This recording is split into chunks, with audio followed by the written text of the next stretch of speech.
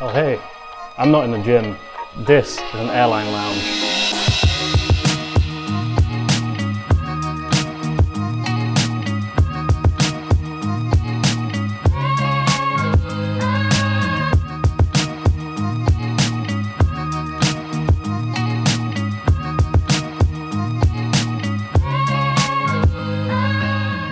Good morning from a rainy London today. I'm on my way to the Virgin upper class wing at Heathrow Terminal 3 and we're going to fly to Tampa on Virgin's brand new A330neo in upper class. Let's check it out.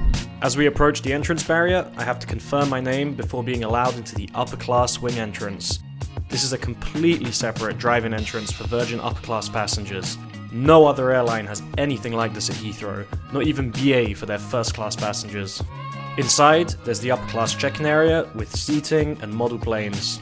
There are only a few desks here, but there was no queue and I was able to get my boarding pass in no time. For those not arriving by car, you'll have to use the regular entrance, but you can then take a lift to use the private security lane that I'm about to use. Once past security, I made my way through duty free and followed the signs for Lounge H. Up the stairs, or up in this lift with a sofa, I presented my boarding pass and made my way into the Virgin Atlantic Clubhouse. Before we tour the lounge, I'm gonna grab a quick breakfast. What else but champagne to start the day? Uh, and with some eggs royale too, a favourite of mine. Now, let's start with the fun stuff. Up these stairs, there's a games room with a pool table. Go on then, quick break. Guess I'm solids. Up another set of stairs, we can find the garden. This is the only lounge in Heathrow with an outdoor rooftop. Today wasn't the best of days for it, but I can imagine this is a great spot to chill in summer, with great views of the airport all around. Back inside, if you'd rather stay in the dark, there's a big screen with news and sports with these oversized sofas. There's a quiet area around the corner which is noticeably quieter than the main lounge. The seating is split into sections for couples or solo travelers, and no food is allowed in this section. I like how this area has been styled, and the lounges are super comfortable. If you're feeling sporty, there's a Peloton studio with three bikes and views of the ramp.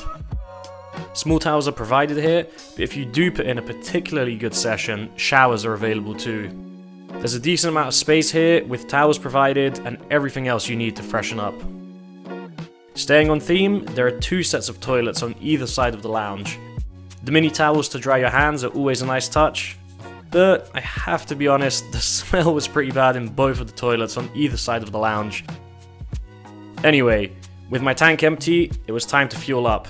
I hit the centerpiece of the lounge, this long cocktail bar, and ordered a Bloody Mary. While I'm enjoying that, let's not forget there is seating all around the lounge in various shapes and styles. You won't struggle to find a section that suits your needs and get comfortable. If you just want to chill, or sit by the window, or order some food, or do some work, there'll be a spot for you. All this touring has made me hungry again, so I made one last visit to the restaurant to check out the a la carte all day menu. Baked chicken wings up first, followed by chicken tikka masala, rice, poppadom with sauces and naan. The obligatory glass of champagne, and this big cookie for dessert. Perfect timing as boarding was announced just as I took my last bite. I left the lounge and made my way to the gate where I saw the A330-900 Neo will be flying on today. Down the jet bridge and onto the plane, the crew checked my boarding pass and pointed me to my seat. I love the purplish ambient lighting in the cabin. And here's my seat, 8A.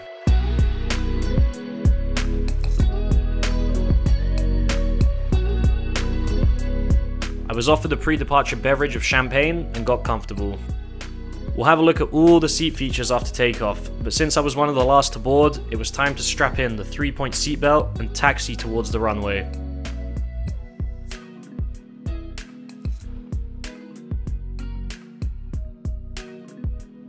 After takeoff, the crew handed me a hot towel, which was shortly followed by a tiny bowl of crisps and more champagne. While I enjoy that, let's have a look around the seat. The seat recline and lighting controls are right next to you. There's an international power socket and both USB A and C charging. A wireless charging pad right here. A small storage area with a vanity mirror.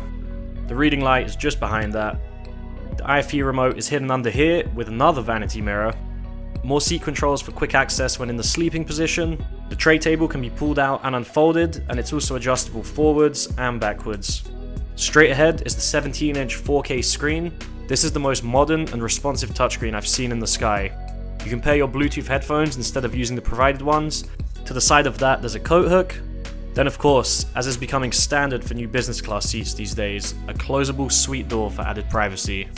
Although I found the suite still fairly private even with the door open, and the short height of it won't stop anyone walking past looking in, open or closed. The seat itself is pretty comfortable, I like the colour palette they've gone for and the pillow definitely helps with back comfort. Despite that, I did find it a tiny bit cramped around the legs when reclined a bit. You can see how my movement is restricted in my right leg here. This is what the seat looks like fully flat, but we'll check out the bedding and sleeping setup later in the flight. But for now, I think it's time for lunch. I had a look at the menu, but I had actually pre-ordered my main course online, which is a nice touch to ensure you get the choice you want. My table was set with the placemat, cutlery, these cool golden plane shaped salt and pepper shakers, water, bread and butter, and of course, champagne. I had the salmon gravadlax for starters, served with pickled cucumber, grain mustard mayonnaise, and pumpernickel bread. For mains, I had the lobster and crab tortellini, which was an exclusive pre-order online menu item. The apricot and almond cake was for dessert, and I finished this all off with a cheese course. This all hit the spot and the cabin crew cleared up my table so I could relax. Time for the toilet review. These are pretty standard plain toilets. The paneling is a darker burgundy shade, which is nice. There's Ren branded hand wash, and I love this little foot pedal to open the paper bin. I hate touching the cover usually. And that's it, does the job. Let's check out the loft. You see this as you board the plane, and it looks like a cool place to hang out and socialize. There's a snack basket, and drinks provided in the mini fridge. Full IFE touchscreens with the option to connect up to 8 Bluetooth headphones to watch together using the buttons below. This cool looking ceiling light, which is giving the loft that virgin purple hue, now, the weirdest part of all this is just not comfortable to sit here. The seats are way too high up off the ground, so you're sitting on the edge with your tiptoes on the ground. If it was lowered by a few inches, it would be perfect. If you do want to sit here, they have these mini armrests slash tables with USB charging behind. And seatbelts, so you don't have to go back to your seat if turbulence unexpectedly hits. Not being able to get too comfortable in the loft, I went back to my seat to do a bit of work. Wi-Fi is available with paid packages or free for a limited time if you watch some ads, which is a nice option to have. A bit of a quirk, the suite lighting controls only seem to adjust the light under the wireless charging pad, which didn't do much to light up the rest of the seat. Also, the individual air vents were much appreciated as the cabin got fairly warm by this point. I was getting a bit tired, but let's check out the amenity kit before sleeping. Virgin provides everything in this recycled bag which contains an eye mask, a pair of socks, toothpaste, Ren branded moisturizer, Ren lip balm, earplugs, a toothbrush, Ren hand cream, and a pen. A decent kit with a sustainable touch. Time to kill a few hours and get some sleep. Turn down service is provided, but I decided to make my bed myself. The cabin crew saw me doing this and jumped to offer to help, but I was pretty much done. Turn down service isn't something you usually see in business class, so thumbs up for Virgin here. I got into bed, and I have to say the bedding is pretty comfortable. But as I try to get comfortable, even though the cubby hole is deep enough, the lateral movement is a bit restricted, which was noticeable when moving or turning around. I did manage to find a good position in the end, closed my door, and got a few hours of sleep in. I woke up not long before landing and just in time for the second meal service. I chose the buttermilk chicken slider. It came with crisps, not sure what the ketchup is for here, and I had it with the Orchard Margarita cocktail. The chicken was surprisingly crispy, and I enjoyed this for a light dinner, or breakfast meal, I'm not sure. My table was cleared up, and I chilled for a bit before we started our descent into Tampa. So, what do I think of Virgin Atlantic's upper class? To start with, I think the clubhouse is a great lounge and one of the best at Heathrow, especially considering it's a business class lounge. It has unique features for the airport, like the upper class wing entrance and the rooftop terrace. It did get pretty busy at one point, but this will depend on your departure time. On board, I love the colour scheme and mood lighting.